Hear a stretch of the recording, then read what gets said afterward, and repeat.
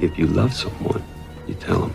Even if you're scared that it's not the right thing, even if you're scared that it'll cause problems, even if you're scared that it will burn your life to the ground. I love you. I love you. I'm so in love with you. I have loved you ever since I've known you. I love you. I love you. I love you.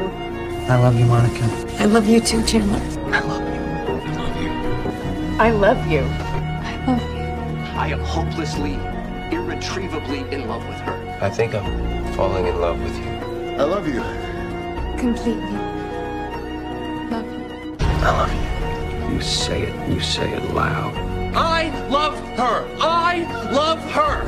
If you're looking for the word that means caring about someone beyond all rationality and wanting them to have everything they want, no matter how much it destroys you, it's love.